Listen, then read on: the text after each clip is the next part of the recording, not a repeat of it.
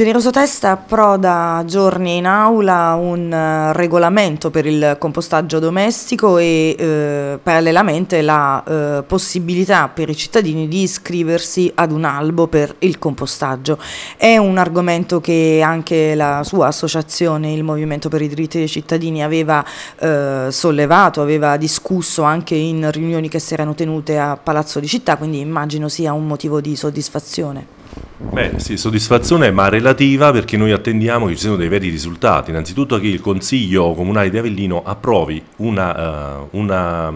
uh, regolamento in merito al compostaggio domestico. Noi stiamo sollecitando questo già da diversi mesi, non l'abbiamo fatto per scritto, l'abbiamo fatto direttamente all'assessore uh, a ramo Augusto Penna e lo stesso Augusto Penna aveva sollecitato in Consiglio um, il Presidente del Consiglio um, Petitto a poter mettere calendarizzare appunto questa, questo regolamento perché venga, venisse approvato. Uh, noi abbiamo uh, cercato di uh, fare pressione non soltanto sul, sul, uh, sull'assessore, perché questo significa poter dare mh, due grossi vantaggi alla nostra città.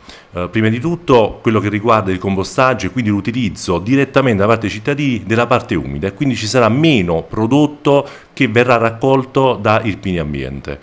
Secondo è economico e questo mi rivolgo soprattutto all'assessore al bilancio perché i cittadini con il compostaggio domestico potranno avere dei forti sconti in, uh, sulla tariffazione, sul, sulle tariffe dei rifiuti.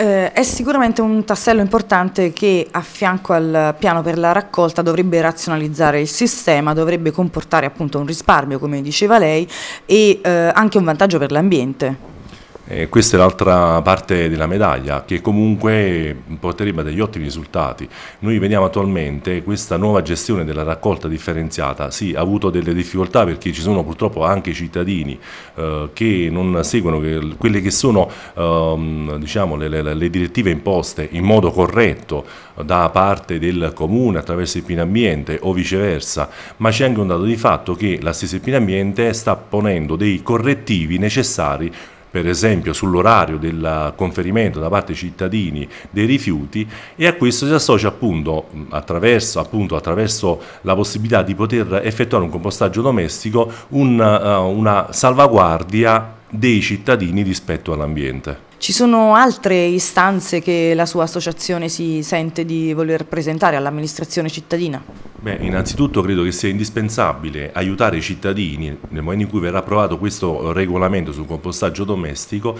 affinché abbiano disponibili i contenitori eh, da utilizzare per effettuare appunto questa raccolta dell'umido in modo eh, diciamo mh, eh, privato e quindi fare in modo che il Pini Ambiente renda disponibili i contenitori per il compostaggio domestico.